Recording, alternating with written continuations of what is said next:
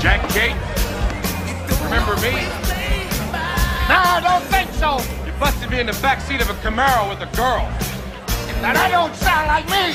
Turns out she was underage, but I didn't know it. Well, you know, shit happens. I didn't steal that car either. My buddy did. Maybe you better fix better buddies. I gotta go see somebody. I got two years. Oh, come on, give me a break. I don't want to get in a bar fight.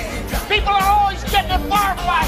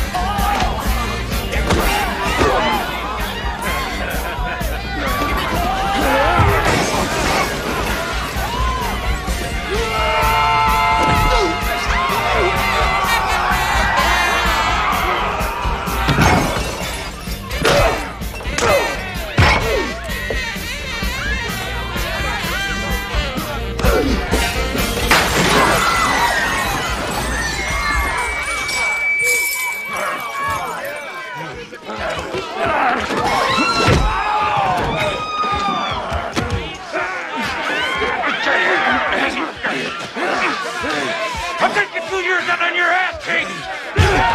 You got a gun? What? You know a gun in case you stick the place up.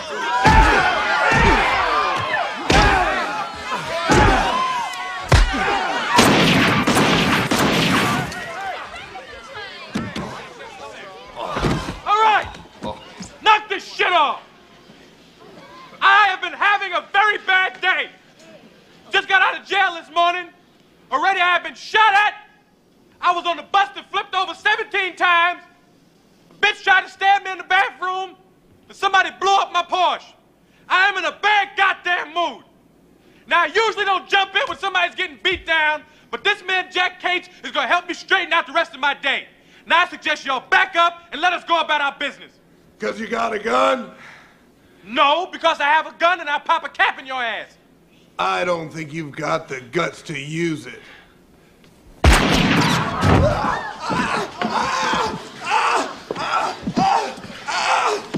Anybody else want to live? Sorry about the kneecap. I got a little um, excited.